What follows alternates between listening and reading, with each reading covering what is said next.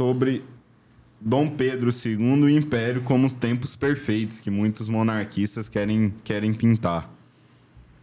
É, esse aí também é outro problema, né? Isso é muito comum, né?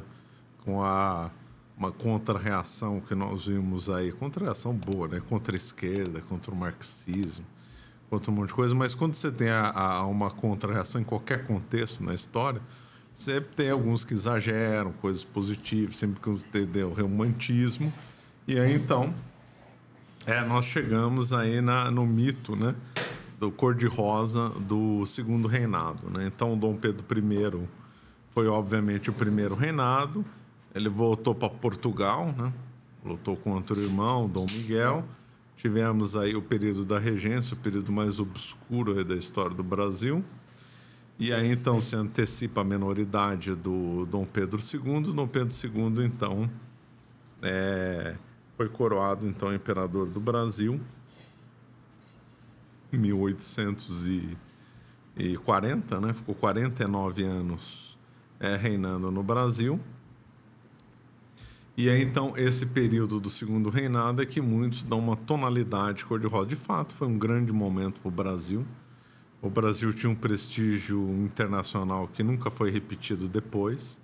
O Brasil, se tivesse é, mantido como era a coisa no Império, hoje o Brasil seria uma nação desenvolvida, já que o Brasil se equiparava às nações desenvolvidas na época, inclusive em questão de guerra. O Brasil chegou a ter o melhor barco de guerra do mundo, né? A Armada do Brasil era uma armada é, poderosa, né? É, embora, embora não tão, é, o Brasil não era tão populoso, a gente tem que ver as questões populacionais também. Então, no, o, quando o Brasil, na, na, na, época da proclamação da República, o Brasil tinha pouco menos de 15 milhões de habitantes só. Hein? Então, não vão esperar é, outras nações na Europa não tinham população maior. França, Inglaterra tinham uma população maior. Os Estados Unidos tinham uma população de 60 milhões de habitantes na mesma época. Então, o Brasil, embora territorialmente era um gigante, mas populacional, de população era menor, né? Mas aí o Brasil conseguiu um grande desenvolvimento em várias áreas. Fotografia, o Brasil foi um dos pioneiros. É, selo, o Brasil foi um dos pioneiros. Telefone, ferrovia, boa parte das ferrovias que estão em funcionamento hoje no Brasil, ou pelo menos na mesma linha, né? não exatamente igual, óbvio, foram caminhos desenvolvidos pelo Império. Então o Brasil teve um grande desenvolvimento em várias áreas, várias áreas. Porém, também temos aí vários problemas aí no Império, como a própria figura é, do imperador Dom Pedro II, que se confessou republicano. Né? É uma coisa completamente sem sentido. Né? E outra, né, ele queria questões completamente. A questão religiosa. A questão religiosa foi uma vergonha né, para o imperador e para o Brasil. Então, são coisas que, que já tiram essa aura de, de romantismo e de cor-de-rosa do segundo reinado. Né? O senhor considera que, naturalmente falando, de virtudes naturais, inteligência, articulação e etc., Dom Pedro foi o maior governante que o Brasil teve, Dom Pedro II? Então, ele era, ele tinha vários defeitos, né, conforme tinha alguns defeitos graves, aí como de se declarar republicano. Ele não tinha boas ideias. Ele era, teve uma época que tinha um escritor infeliz chamado Augusto Renan, né? Quem souber o nome dele, acho que é Renan o sobrenome, que era um naturalista, que era contra o catolicismo e tal, escreveu um livro chamado, acho que chamava Vida de Cristo, muito popular no século XIX, e tinha um grande, gerou uma grande legião de admiradores dele. E o Dom Pedro II seguia ele. Então, Dom Pedro II estava longe de ser um bom católico, não tinha ideias boas, ele dizia que o coração dele era brasileiro, mas a cabeça dele era francesa. Quando se fala de cabeça francesa, sintonizado com o pensamento francês que na época já estava bem decadente, né, do Victor Hugo, do Ernest Renan e de outros, né? Ele era obcecado com a França nesse ponto, né? Então ele, do ponto de vista religioso, filosófico, ele não tinha boas ideias. Gostava do Brasil, gostava Agora, do ponto de vista político, tendo em vista que havia o poder moderador, ele agiu com muita prudência durante o reinado desse. É, isso é inegável. Né? Ele soube muito bem usar ali o poder moderador, fazia intervenções quando era necessário, dava autonomia para o governo que tivesse, porque o poder moderador é um poder de reserva, mas que manda, na realidade, se quiser. Então, vamos supor que o, o, o Dom Pedro II tivesse uma mentalidade mais dirigista, mais ditatorial. Ah, eu tinha, era outro Brasil. Porque ele poderia, então, abusar do poder moderador e começar a interferir demais no comando. Ele tinha o poder de, de demitir juízes, de dissolver o Congresso. É, e ele fez isso com muita parcimônia, com muita economia, com muita prudência. Nisso é altamente é, elogiável. E passou por lá grandes figuras do ponto de vista de administração, né? como, por exemplo, Duque de Caxias, como, por exemplo, o Visconde do Rio Branco e outros. Né? Então, o Brasil viveu tempos muito bons e muito estáveis durante o Dom Pedro II. Pessoal também, quando eu coloquei lá na comunidade sobre os principais mitos, pediu para o senhor comentar da questão do Dom Vital. O Dom Vital a gente precisaria gravar aqui, né? Chamar alguém que saiba, né? Tem algumas pessoas que eu sei que até escreveram livros sobre o tema para ter um grande é, debate aqui mais aprofundado. Mas só para não ficar no ar, vamos comentar um pouco no século XIX, a ação da maçonaria estava muito forte, né? Principalmente para tentar impor o liberalismo no mundo inteiro. Aí, quando eu falo em impor o liberalismo, seria do ponto de vista até mesmo de pensamento, de ideias e tal. Né?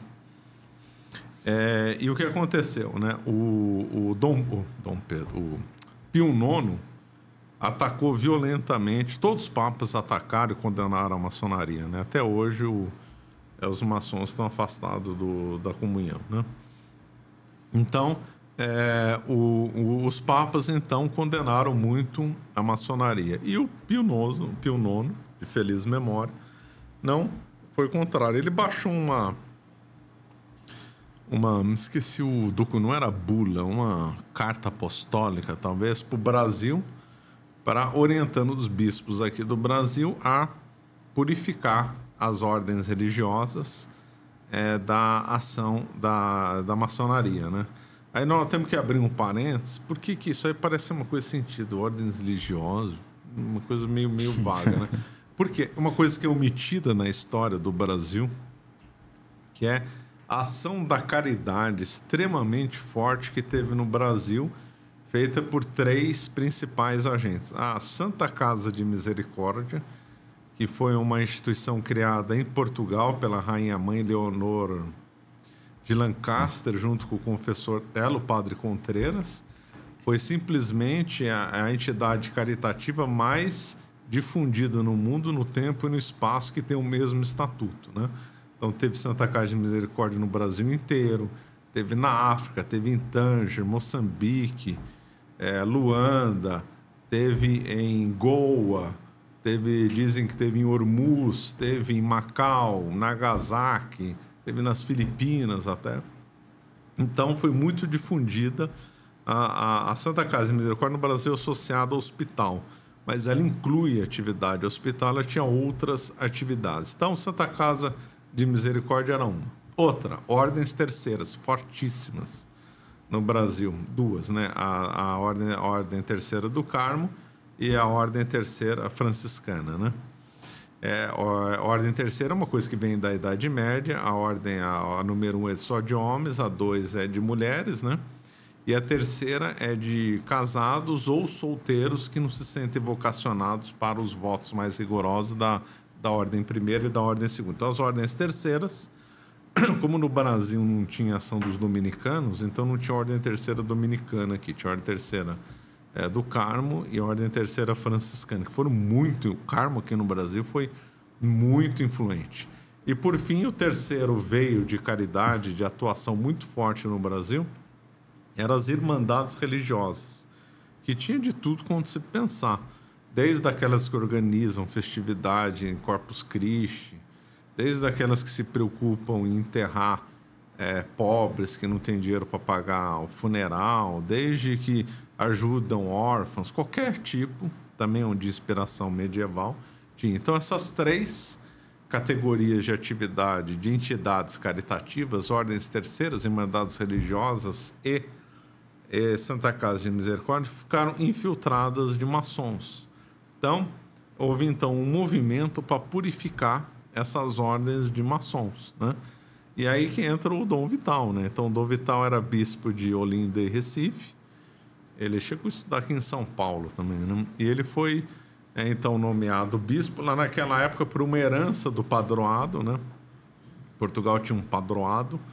Padroado é um liame estreito entre a Santa Sé e Portugal, que é, dá muita liberdade para Portugal orientar dioceses e mesmo o rei de Portugal apontar é, bispos. E o Brasil herdou o padroado, né?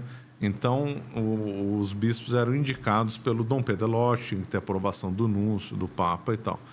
Então, ele foi apontado para ir para Olinda e Recife, e lá ele se indispôs contra os maçons.